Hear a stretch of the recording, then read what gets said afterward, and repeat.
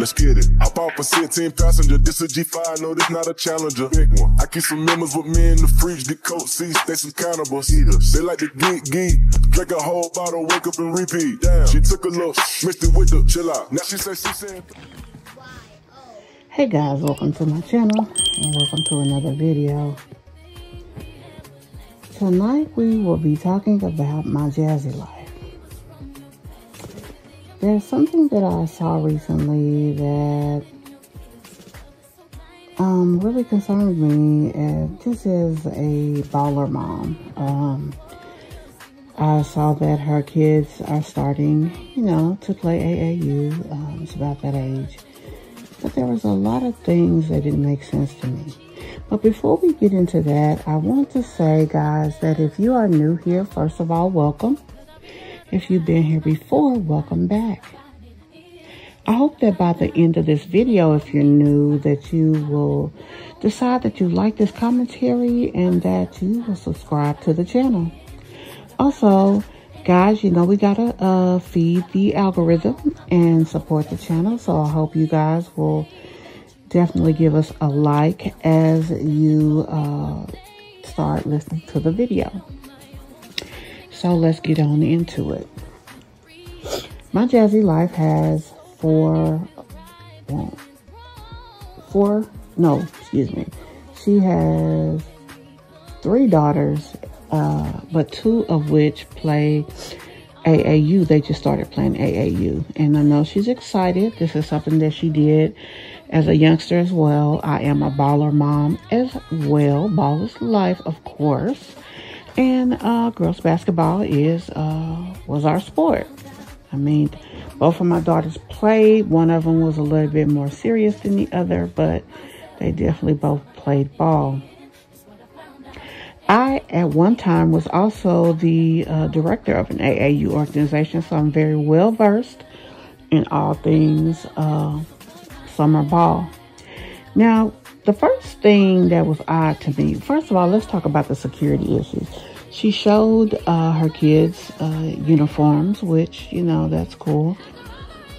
I don't think it's a problem showing it, but I definitely would have showed the back and probably not the front with the name on it, just, you know, for security reasons. She definitely has a lot of people who kind of uh, harass her from time to time or whatever they want to call it. I'm going to call it harassment because some of the things that they do are definitely out of line. With that being the case, uh, it just is not wise to give out extra information. So by them having the name of the team, they can go to the AAU uh, system and get more information. I'm not going to go into great detail on how because I don't want to give anybody a roadmap to doing that. Um, but you know, she talked about how they were excited and this and that and the third. Now, one thing I noticed also, it seems like the girls were playing with boys. So I don't know if this is some kind of, she calls it AAU ball. But I've never known an AAU team because you have to register uh, each kid with AAU and each team with AAU. I've never seen an AAU team be uh, girl and boy teams because of how they're registered and how the insurance is written through FOI. So uh, that makes me wonder, is this an AAU team or maybe um, some other, uh, you know, side organization? There are a lot of uh, ball organizations out there. Um, there's AAU, there's uh, MAYB, there's USSSA, and there's another one that escapes me, but my daughter played AAU as well as that organization as well. Both of them did. Um, so I don't really have uh, the name of the other one, but nonetheless, um, there is another one as well. So I don't know if this is maybe some kind of just summer city wide thing, just something to get the kids involved and busy. Uh, another thing that was odd was the fact that Kaylin and her sister Amaya play, it seems like on the same team, which was uh, odd because when you uh, play any type of summer league, it's breaking down by either grades or ages. And if it's breaking down by age, having an older kid ages up your team and puts them at a disadvantage. Same thing with grades. If you have an older grade kid and then you have youngers, the youngers are going to have to play up because the dynamics of the team, the older kid still has to be considered. So if you have a 10 year old and an 8 year old, the 8s are going to have to play up to the 10 year old's age because you have a 10 year old on your team. So that was odd to me. Um, now it could just be a citywide thing. And then at that point, who cares? Because there's no certifications that have to be done. And the kids aren't trying to get a national championship, uh, things of this nature. Because AAU is very competitive. As a matter of fact, my daughter is in one of the AAU yearbooks uh, because she played every year, all of her eligible years. And, uh, you know, they invite certain kids, especially if you end up being uh, registered with uh, the NCAA, to be in the AAU uh, yearbook. So my daughter is in one for the year, her last year playing. So, um, but like I said, that I thought that was odd.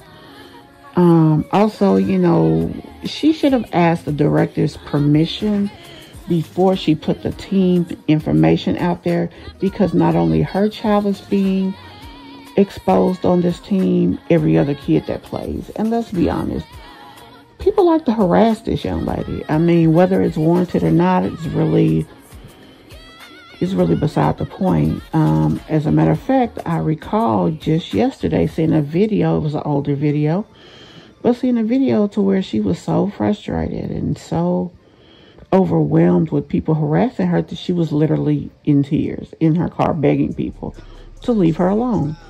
So when you expose yourself and your children on a team with other people's kids, you expose the team, you expose also the organization. Now, if you got people already harassing you because of your kids, what do you think they're going to do to these other people?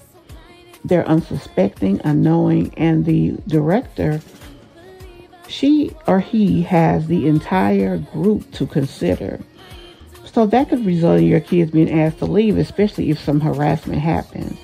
So she definitely should have thought about that.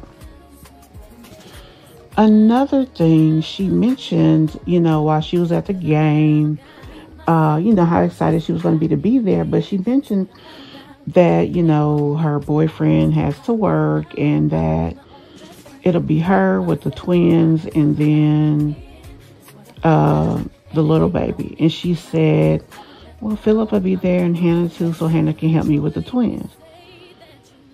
My question is, why does she need help with the kids that she had?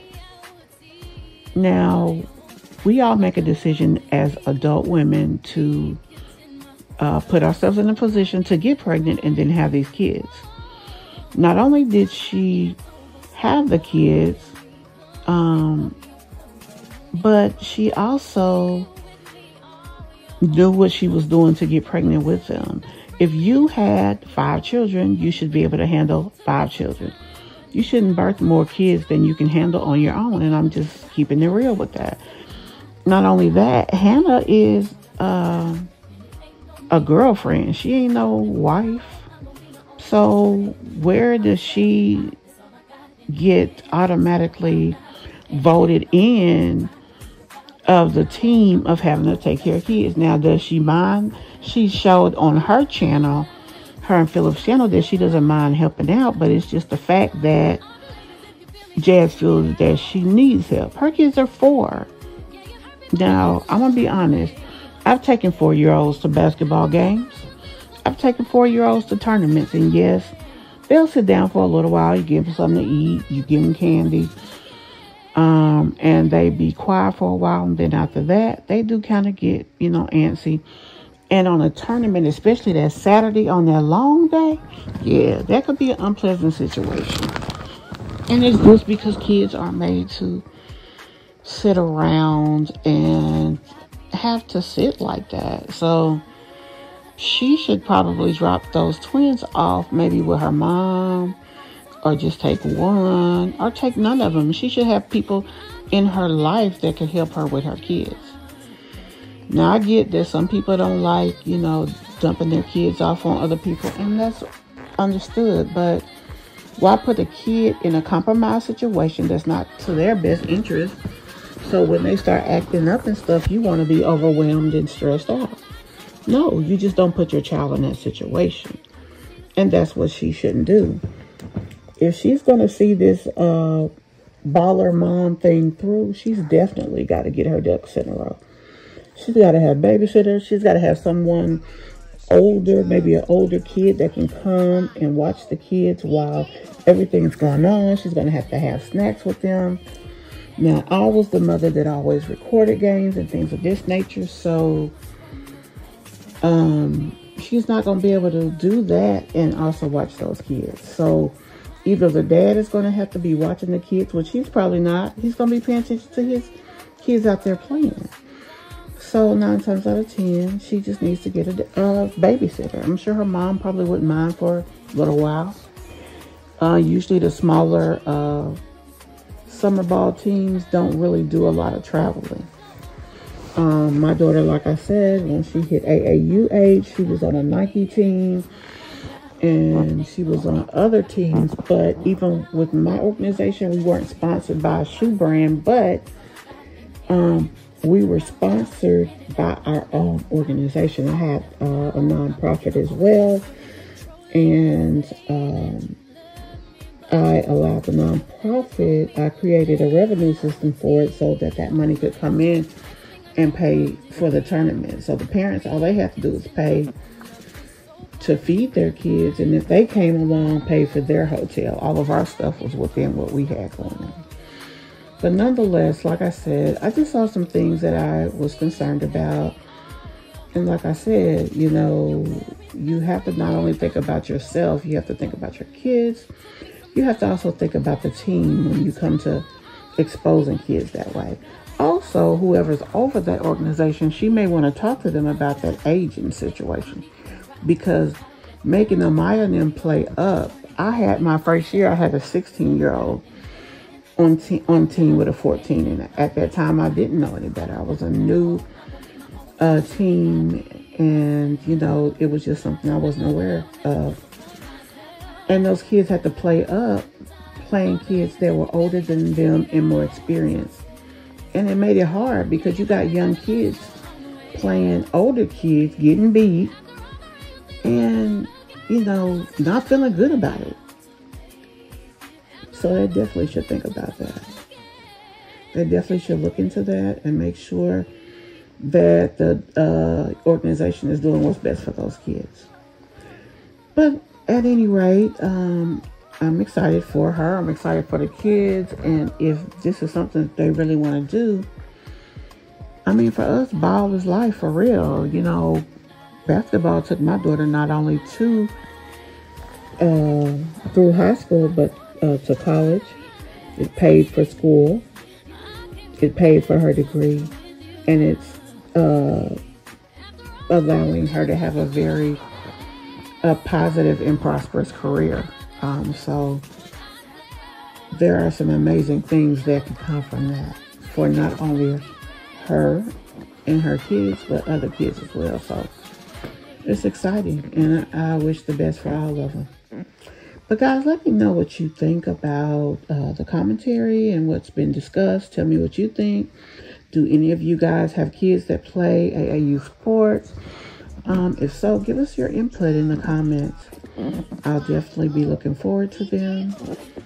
And I'll also be looking forward to talking to you guys in the next video. Now, like I told you before, we are starting our membership program this month, later on in the month. There will be a um, community post later in the week that will give you the details of that. So, um, you know, be sure to look out for that. I hope you guys um, enjoy our commentary enough that you will want to become a member. Um, the post will break down uh, what each level of membership will receive. And it'll also give me an opportunity to uh, eventually start um, doing lives and um, assigning uh, additional tasks to um, our members and hopefully soon moderators. But anyway, guys, um, look out for that later in the week. And like I said, if you will, please support the video by giving us a like. And I will see you in the next video. Bye. Let's get it. Hop off a 16 passenger. This a G5, no, this not a challenger. Big one. I keep some members with me in the fridge, the coat seats, they some cannibals. Eaters. They like to geek, geek. Drink a whole bottle, wake up and repeat. Damn. She took a look, mixed it with the chill out. Now she say she saying 3D. Wow. I go in the jungle and they got a coat. I bet I come out with a mean. I bet I do this shit for the fam. Cause this shit on the way to the VA, honey, and had to uh, dress accordingly in case I got to go ape shit on somebody. Mm-hmm or show that um, my PTSD ain't going nowhere and punch you in your skull, yeah, I'm ready, baby. We ready. Mm-hmm.